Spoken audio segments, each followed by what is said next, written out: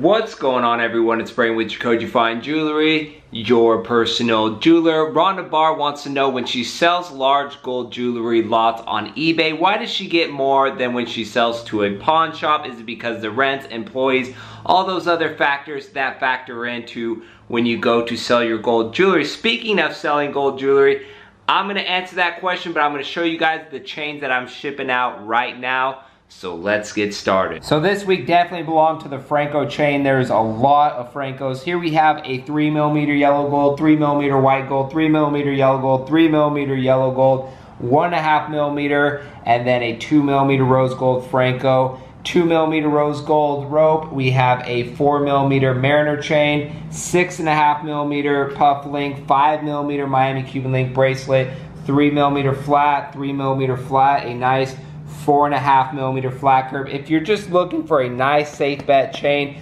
go with the flat curbs. They are beautiful chains. Finish on them is lovely.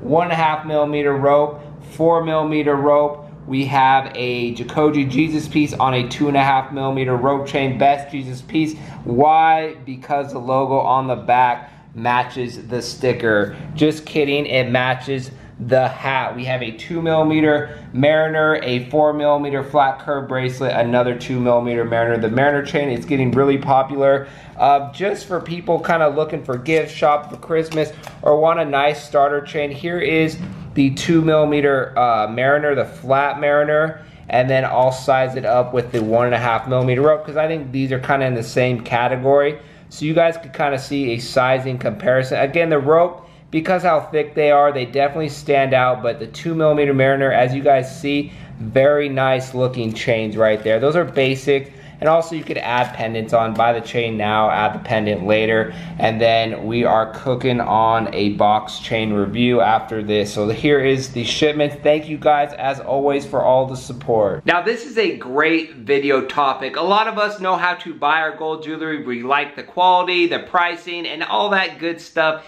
It's fairly easy to do once you're comfortable with it, but reselling is another question, and I get questions all the time about it because you could go very easily to a pawn shop and they'll have the $100 bill stacked to the ceiling for you, but you have to take that price cut. You're not going to be very happy with the price they give you because when they're going to buy, they're buying and anticipating if they're just going to sell, resell that gold, the scrap gold. So if gold is at $23 that day, they might give you $21 a gram, and then that's how they make their profit off that. So if you really want the best bang for your buck, it's not to go to a pawn shop or a jewelry store because the jewelry stores will approach it pretty much the same way unless they feel like they could resell it for a lot higher. Some are honest and most of them are dishonest and will just still approach it like that and just undercut you a little bit, but they have to make money and they do have the bills. It's just that's how it is. When you're running a business, the profit loss. So some are higher, some are lower, some do more quantity than others. And that's why you have to shop around. If you're selling your gold, please do me a favor and everyone else a favor. At least go to three different places and see what the price per gram is when you resell those pieces.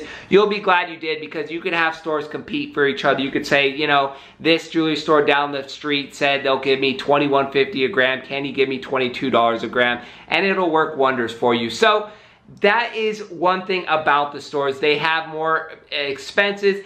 The good thing about eBay and what I always recommend to people because people want to sell me their chains and I just don't want to get involved with that honestly is put it on eBay and it's a little it's a little weary of buying or selling stuff on eBay, especially gold jewelry, but for the most part, it's a good resource because you are selling to a fellow consumer. Now, people go on there just as they do go to pawn shops looking for gold pieces to get a good price for pretty much used jewelry. And that's why eBay works because if you're selling, let's say this bracelet, you just, you want a bigger one or you want a smaller one or you just want to get rid of your bracelet in general, you could go to the pawn shop, they'll offer you X amount. It'll be lower because they have to make money on that gold. But on eBay, you could list it, take some good pictures of it. If you have a scale, put it, take a picture picture with it on the scale. Be as detail oriented because buyers are always uh, a little cautious on eBay because they think they're getting scammed. Take a good picture of the class of 14 karat, all that stuff because you will actually make a little bit more than you would with the pawn shop or any other store because you're selling it to a fellow consumer that wants to buy it for relatively cheap. So you can mark yours up two, three, five dollars more per gram of the market price as opposed to taking that two, three dollars per gram loss selling it to a jewelry store or a pawn shop. Now, I don't have a lot of experience of selling gold jewelry on eBay, but if it was me, this is what I recommend. I would recommend you take your gold pieces of jewelry, go to your local mall. They all have those watch repair places or the jewelry repair places, those basic places where there's a guy on the bench just fixing pieces. Have them polish up and clean that gold piece. Get it looking like new, maybe five, ten dollars max, depending on the piece and the intricacy of it. But it's worth it. And then if you don't have a scale at home, borrow their scale, have them put the piece of gold jewelry on there and take a picture of it so you could list it better on eBay. So you have a pretty much brand new piece with polish.